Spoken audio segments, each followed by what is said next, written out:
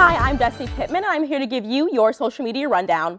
This morning, Kanye West sent a message to Taylor Swift fans. A fan posted a tweet urging Swifties to stream Beyonce's new single, Texas Hold'em, to get it to number one on the Billboard music charts.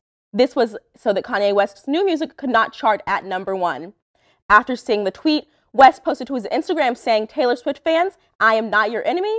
I am not your friend either, though. Along with this, he said his newest album is about triumph and that this past year has been a difficult time for him and his loved ones.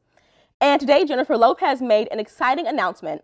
The singer revealed that she will be going on tour this summer. Her This Is Me tour will kick off in Orlando, Florida on June 26th, and tickets go on sale Tuesday at 9 a.m. This tour announcement comes along with the release of her upcoming album, This Is Me Now. This will be her first album in over a decade, and she says rekindling her relationship with her husband, Ben Affleck, has inspired this new album. And this year, the Met Gala chair, committee chair, will see some new faces. This year, Jennifer Lopez, Zendaya, and Bad Bunny will serve as the co-chairs. Oh, and Chris Hemsworth will so, serve as the co-chairs for this event. Um, all have attended the event multiple times with Zendaya being a fan favorite most years.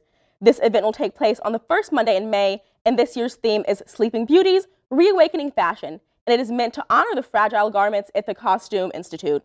And along with the co-chair announcement, Zendaya is also trending on X Day because of her newest outfit.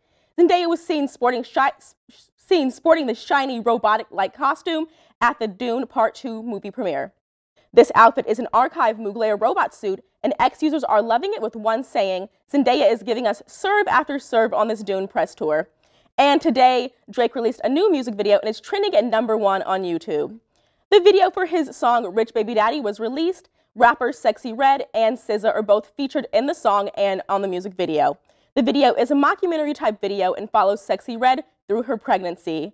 And I know I'm excited to hear the news about the Met Gala. I love seeing Zendaya at the Met Gala. How do you guys feel about that?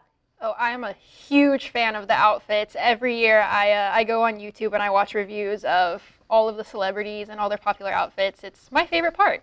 Yeah, honestly. absolutely. The Met Gala is a big viewing event for yes. lots of people, and I'm personally not one of them. I'm more into the sports side, but you know, it's still a great viewing event. Mm-hmm. So thank you for that, Destini.